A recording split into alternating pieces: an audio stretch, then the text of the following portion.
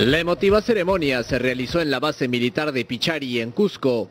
El ministro de Defensa Jorge Moscoso Flores llegó hasta la región imperial para rendir homenaje al suboficial del ejército que murió en un enfrentamiento con remanentes terroristas. Cumpliendo con su deber y defendiendo a su patria, entregó lo más sagrado, que es su vida.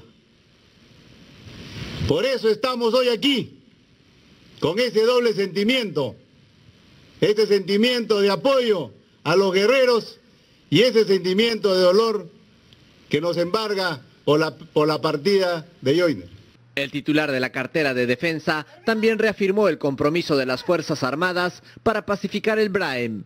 Determinar con esos, con esos remandentes, de esos delincuentes que todavía permanecen en grupo reducido, con inteligencia, con paciencia, con capacidad profesional y operando exactamente donde debemos operar, vamos a ir neutralizándolos.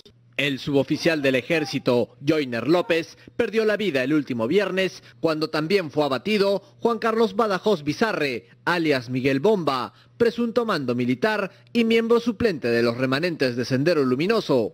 El cuerpo del suboficial fue trasladado a Huamanga y luego será llevado a su tierra natal, en la región San Martín, donde recibirá los honores correspondientes.